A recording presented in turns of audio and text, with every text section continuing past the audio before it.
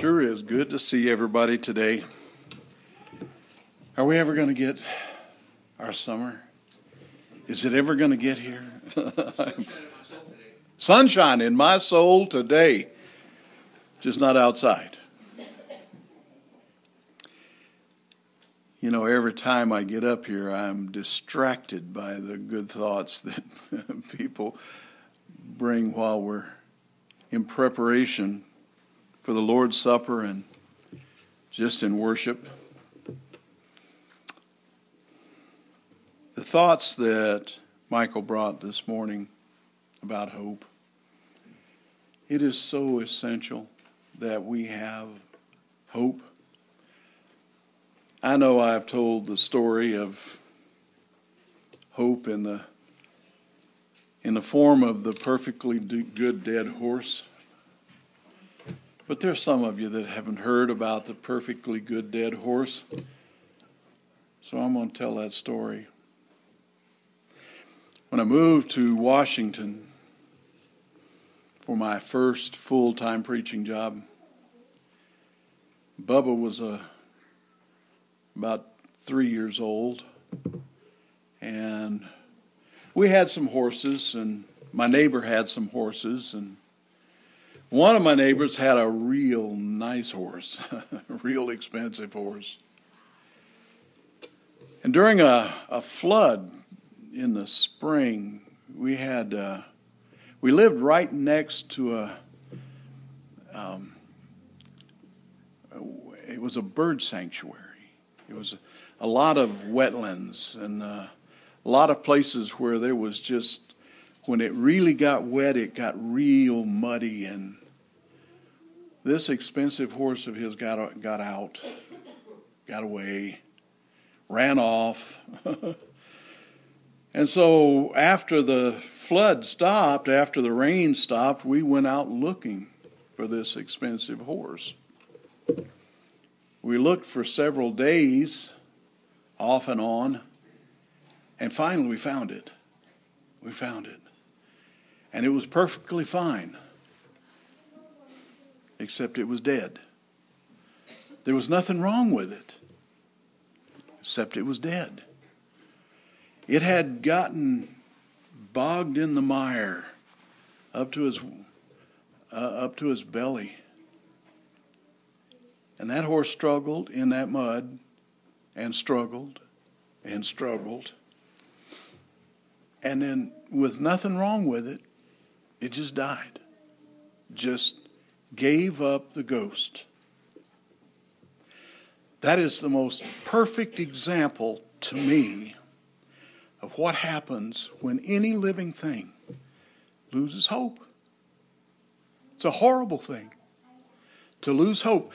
So I understand, I understand why Paul wrote in Ephesians chapter 1, writing to every church everywhere I pray that the eye, eyes of your heart may be enlightened so that you may know three things. So that you may know what is the hope of his calling. That's the first thing. What hope do we have in this life? And that really fits well with what I want to talk about there, some things cannot be stolen from us. You know, they can steal your money. I had a, I had a beautiful gun. Carried it with me everywhere in my truck, hidden in my truck, until somebody broke the window and stole my gun because they can steal your gun. They can steal your money. Some handsome silver tongued devil can steal your girl. I mean, those things happen. Things can be stolen. Huh? and not mine, but some people's girl can be stolen by that silver tongued devil. There are a lot of things that can be stolen. And Paul warns about if you're a thief and tells you how to stop being a thief because that's a serious problem in this world. But there are some things that can't be stolen.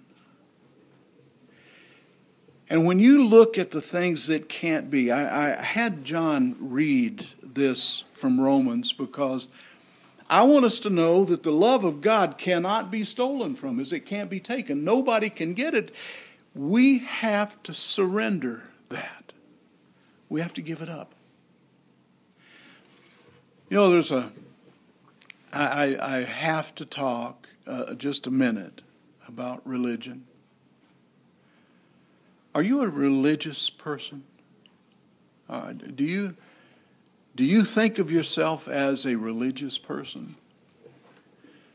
You know, there there are ways that I hope not. I hope that you are not religious. I hope that you're just a believer in Jesus. When Paul in chapter 17 of Acts was talking to these people who were all pagans. He had, he had marched up this long, windy hill in Athens to, to Mars Hill, this long, windy path. And at every turn of the path, there was a different God a God to the farms, and a God to the sheep, and a God to the to the sea and a God to the I mean everything you could think of there was a God to it and even this one, this to an unknown God in case they forgot one. When Paul spoke to them in one of the trans, I think it's the King James, it says, I, men of Athens, I perceive that you are very religious. You're very, what is that word? What does that mean?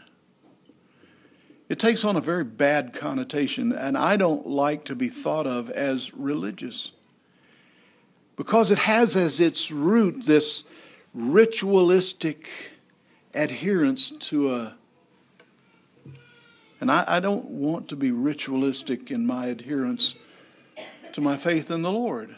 I want, to, I want to do what I do based on my firm belief that He is and my hope that He's going to do what He told me He's going to do. I don't want it to be by rote. I don't want to repeat prayers by number or, or by beads or, or by any other way. I don't want to be known as a religious person. You know, there were two brothers they formed one of the churches that we have as a denomination in the world today that did everything that they did by method. By method. They arose at a certain time, they prayed at a certain time. They had uh, times when they would reflect, meditation, times for this, times for that, and you don't deviate from the times the times became the important factor. And the truth of the matter is, is that some of those groups no longer even adhere to the words of the New Testament. So the rituals, the rituals might change a little bit from year to year. They might change because they're not based on the same principles that they once were. There are some things that never change. That is our need to understand the hope that we have and the promises that Jesus has made. Let me read this again from Romans. Who is the one who condemns? Who are you worried about? Who are you worried about condemning you? Do you do what you do because of who might see or what someone might think? I would ask you to go back and to look at the life of the Lord Jesus. There were several examples. Michael used a couple of real good ones. Do you suppose that the Lord Jesus was concerned about what those Pharisees thought when they brought this woman before them? Now, there are a number of problems with what happened there. They're trying to trap our Lord, who was the maker of all of these laws. They're trying to trap him with his own laws. Of course, they don't recognize that he is the maker of those laws. But they bring a woman and accuse her of adultery. But how many does it take to commit adultery? Two. I mean, it's kind of hard to commit adultery just one person. So the first thing that the Lord sees in this hypocrisy is hey, you're only bringing her. Where's the guy? And where is the honor in what you're doing right here? Honor and rectitude, righteousness, justice, fairness, all of those things that we talked about when we read from Ezekiel this morning that were expected for a man to be righteous. What we have is not a bunch of laws that we have to fear and that we have to rigidly pay attention to. We do them because we want to be God's people.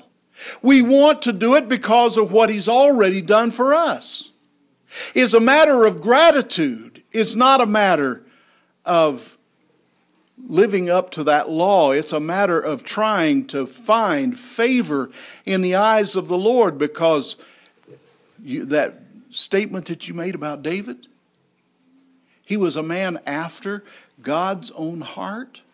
I know we've talked about this before, but understand what that means. That doesn't mean that he was like God. It doesn't mean that his heart was exactly like God's heart. It means that he was after, he was searching, he was trying to get God's heart. He wanted God to love him. Folks, bad as I am at times, that's exactly what I'm after. I want my Lord to be proud of me. And I know one thing for certain no one can take my honor from me. I have to surrender my honor.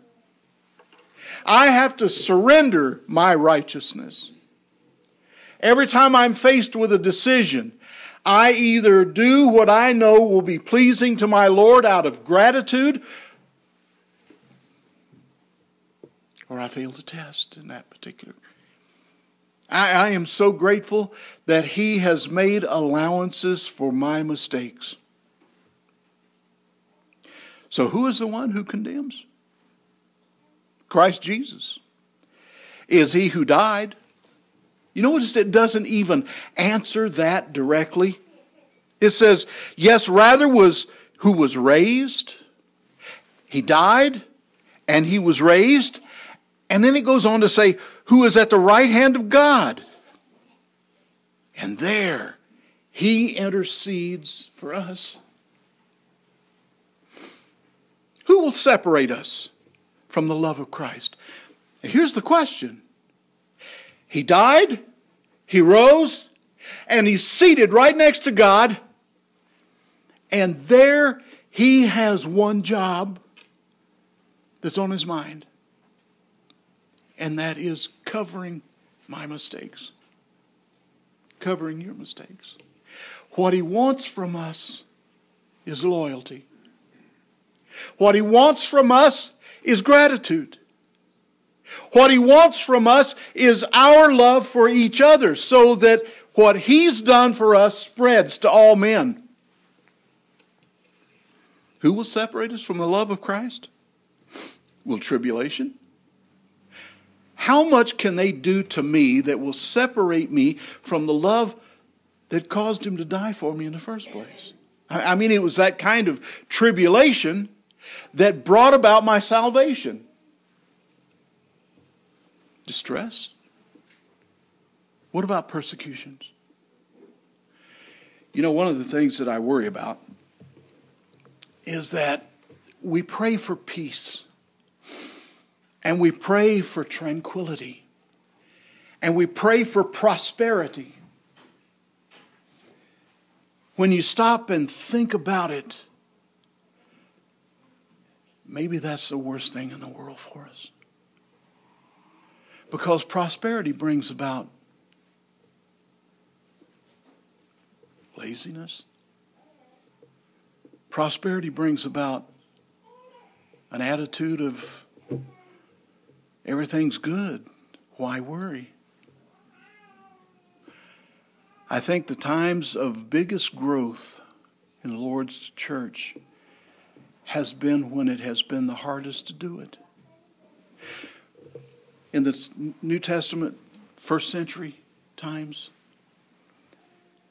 when the church was being spread all over the world because they were chasing them, trying to kill them because of what they believed, you find that every time they went to a new place, the church just blew up. It just, it just grew like crazy. Because everybody knew the price.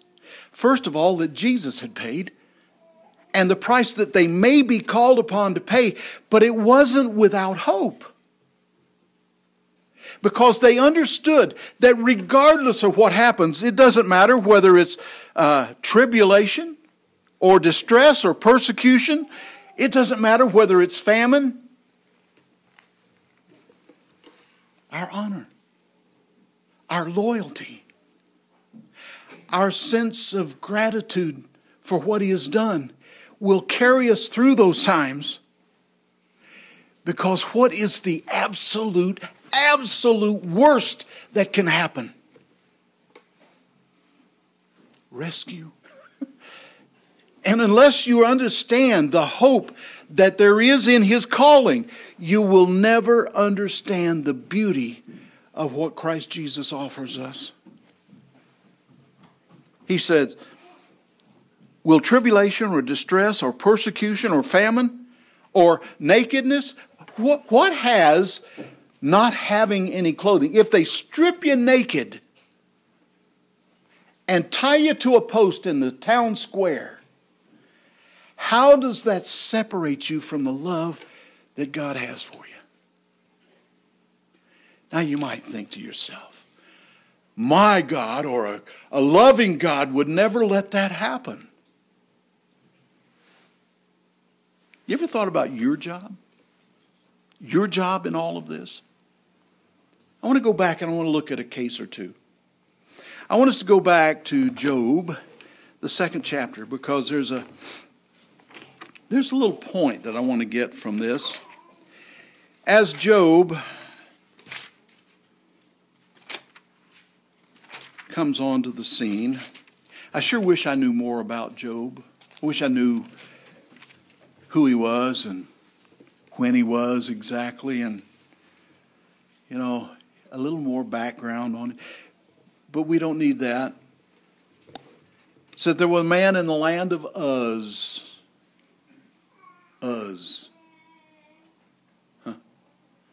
Well, I know when it was. Actually, it's not too terribly far, uh, but there's a big old Arabian desert in between. But the, the point is, I, I do know that this is prior to Abraham, I think, because the the place called Uz was later named Bethel by Jacob. So I, I, know this is probably before Jacob, maybe before Abraham. It says, uh, This man was blameless and upright, fearing God and turning away from evil. This is a man of honor right here. He had all kinds of things. He had all kinds of things.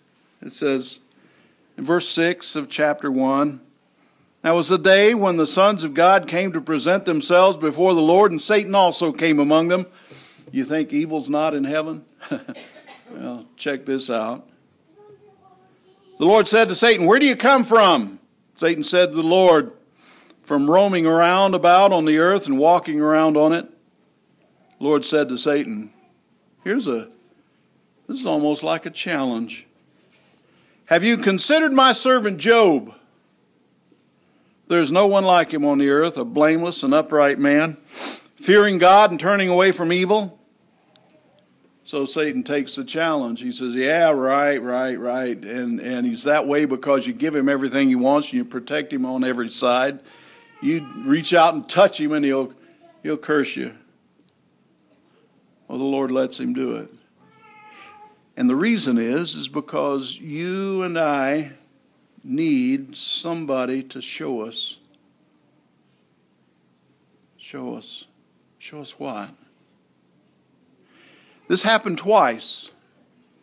And each time it got more and more drastic. The last time the devil touched him, his whole body, and he was covered with sores and like boils. I don't know if you've ever had a boil or not, but I that's the worst thing in the world. I've never been plagued with acne, but I had a boil right there on my eyebrow. Worst place in the world for a teenage kid to have a boil on his eyebrow. Anyway, this man is so plagued with these things, they're on the soles of his feet to the top of his head, so bad that in verse uh, 9, after all this happens, he's sitting in a pile of ashes and he's scraping these things with a potsherd. In case you don't know what a potsherd is, it's a piece of pottery, broken pottery. He's so devastated that he's sitting in a pile of ashes, scraping these things with a piece of broken pottery. His wife comes up to him in verse 9. Now, this is a good woman here. His wife said to him, Do you still hold fast to your integrity? Are you still going to be a man of honor? Why don't you curse God and die? Uh, who's she worried about here? She tired of taking care of him, or is this just her being fed up with life in general because of what she's lost as well? Do you still hold fast to your integrity, to your honor? Huh. When you read on down, it tells us in all this, Job did not give up his he held fast to his integrity didn't matter what nothing else mattered to Job Folks, I got, I got to tell you that when we do what's right, when we are right in God's sight, when we return with gratitude the things that God has done for us and the salvation of our souls, the cleansing us of our sins, it doesn't matter what anybody else does. It doesn't matter what they do to us. It doesn't matter what they take from us. They can take anything they want to take, but they will never take the love that we read about back here. Because God has the ability to make all things right no matter when, no matter what. I look at this story of Job and I think about today and the, the problems that we have in this world, and I, I, I see we're living in a society that becomes less and less aware of what sin actually is. We do you remember what Isaiah said in I think it's chapter 55 of Isaiah where he says woe to those who call evil good and good evil. When it gets to the point where you you can't do the right things because people are going to call you the troubler of Israel, or they're going to call you a bigot, or they're going to make some kind of disparaging, take some kind of disparaging action against you. Well, folks, that's what he's talking about here when he talks about tribulation. That's what it's talking about in the book of Revelation when it talks about the mark of the beast. And you're not going to be able to eat or to drink or to get a job or to do anything without the mark of the beast. And everybody's looking for this 666 to be stamped on people's foreheads. Maybe it's barcodes, or, I mean, I, I, hear all of these, uh, these ideas about what all that is, when in reality, it's the opposite of what Moses was talking about. Or what was the Lord was talking about to Moses when he talked to him in, in Deuteronomy chapter 11, in verse 18. Here's what he writes, or what he told Moses. You shall therefore impress these words of mine. This is the law of Moses, everything that they had been given by God. Impress these words of mine on your heart. You know how you impress something? Well, I, when I I have this thing about having tight sheets.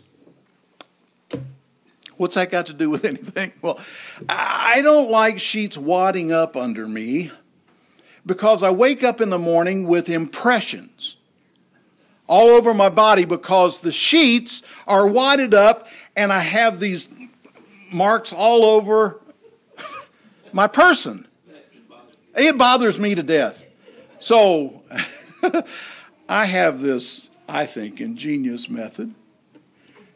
I have these uh, tarp clamps, and I fasten them to my sheet, and I run paracord underneath the mattress, and I cinch it up, and my sheet goes, keeps them tight. Now, why was I saying that? I lost my point. Verse 18. Impress these words of mine on your heart. That is, make an impression. You ever, you ever heard about making an impression? And how hard it is to correct a first impression? You can only make one first impression. Moses wants these people to learn God's word, have it impressed on their hearts. He says, and on your soul. You know what your soul is? Your soul is what you do with the spirit that God puts in your body.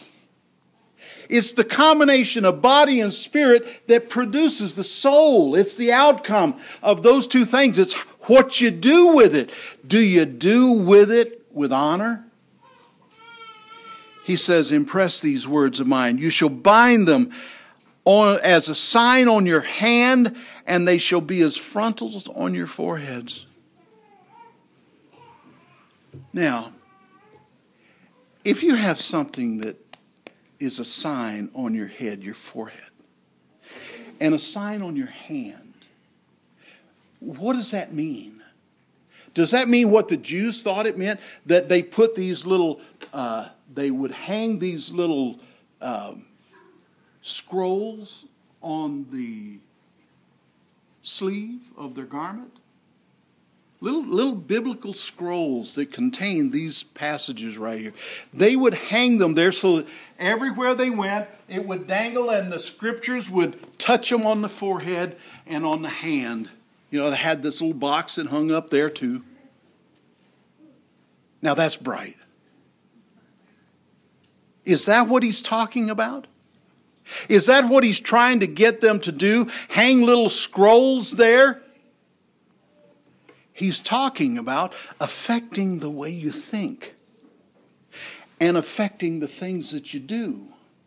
When you impress it on your forehead, impress it on your forehead, or it touches your forehead, it affects your thinking. When it touches your hand, it affects what you do. And it's the same thing with the mark of the beast. It's the same two places in Revelation. It's the forehead and the hand. How can you tell when a person is affected by the thinking of the devil? Watch how they think and what they do. It's the same thing, only opposite. So, what Moses is trying to get them to understand is that we need to prepare our minds, which then affects our actions. You shall teach them to your sons, talking of them when you sit in your house and when you walk along the road, when you lie down and when you rise up. This is every minute of the day. I know this story probably gets old, but I, I remember that that commercial of the man walking down the, this path, and I know exactly where the path is that was in that in that commercial. It was an anti-smoking commercial, and it was made just north or uh, just east of Sacramento along a canal there with a with a, a road that went along it with eucalyptus trees all along the side. I know exactly where they made that because I've been there. And this man's walking down and and he's he picks up a stone and his little boy's with him and he skips that stone out across the water and it little guy picks up a rock and poof it just goes straight into the water. They do it again, and then, then the man stops and he puts his foot up on a log and stands there looking out over the water. And the little boy throws his leg up on the log. And that hit home really because I was walking someplace on our property one day, and Bubba and John were both with me. And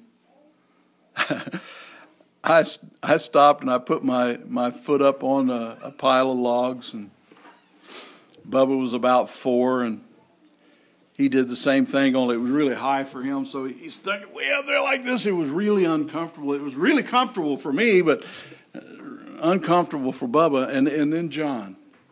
Little guy was about a year old. and he kept throwing his leg up there, but he couldn't get it up high enough to get it on the log.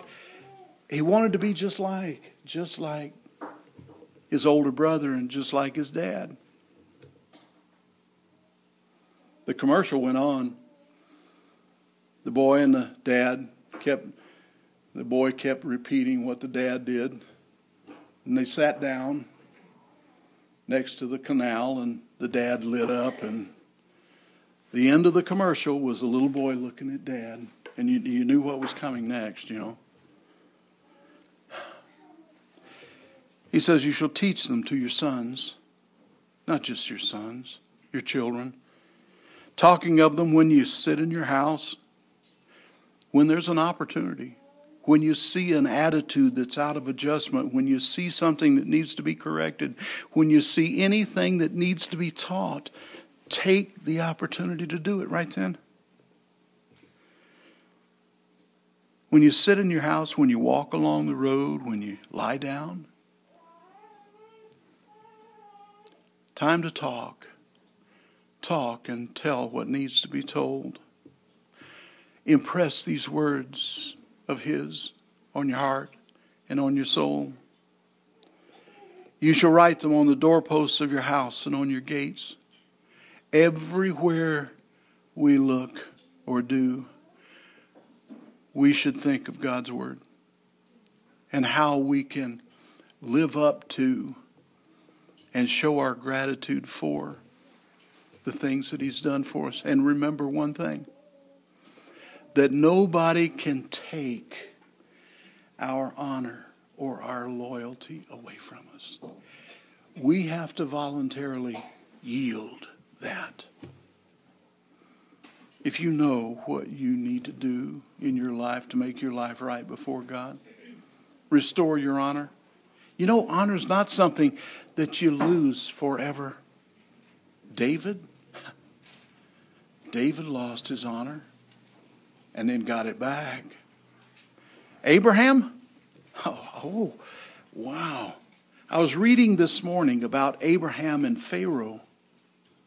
He goes to Egypt and he wants to find favor in Pharaoh's sight. So he tells Sarah to say, You're my sister. And knowing that she's going to be taken into Pharaoh's palace, that's not right.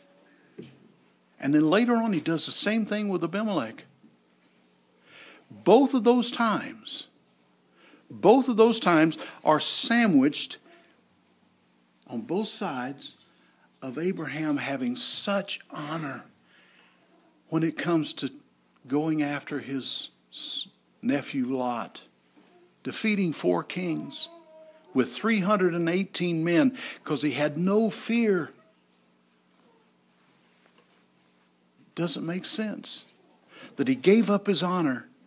God gave it back to him. He showed his honor.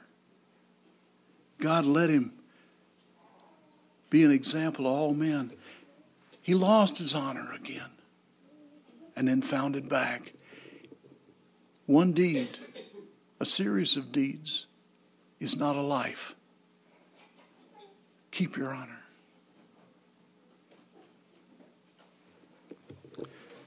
I worry about the world that we live in and its effects on God's people. We need to recognize that we don't live by the current thoughts of right and wrong. We have an unchanging standard of right and wrong that needs to be our, our example. If you're subject this morning to the gospel call in any way, please make your life right with God today. Won't you come while we stand and sing the song that Ron has for us?